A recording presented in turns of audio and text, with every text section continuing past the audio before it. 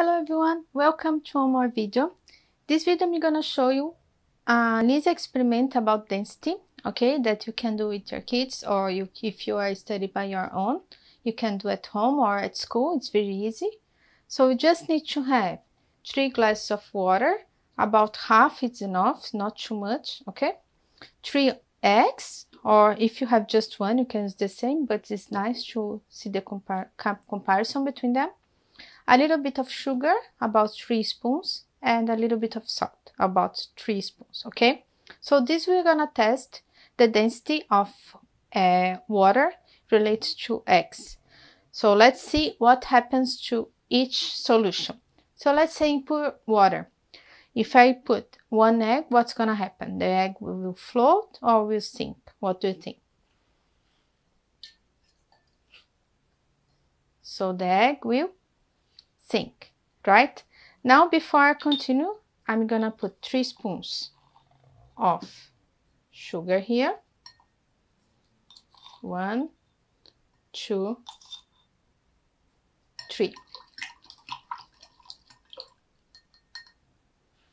And three spoons of salt. One, two, three.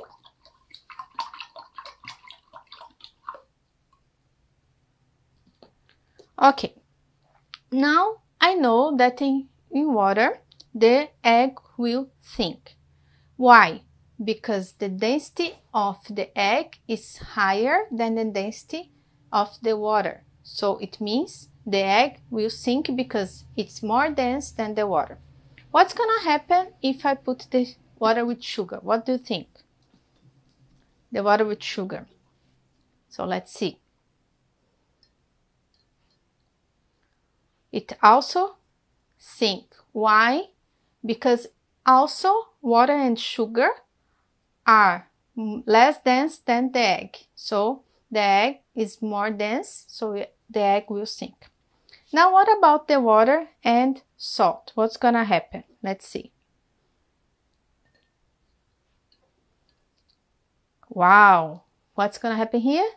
The water is floating. Why?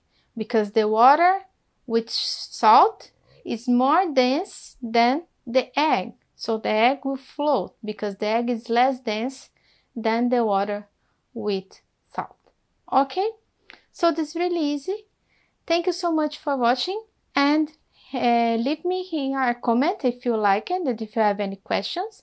And if you like, give me a like that helps me very much. Okay, thank you so much for watching. See you in the next video.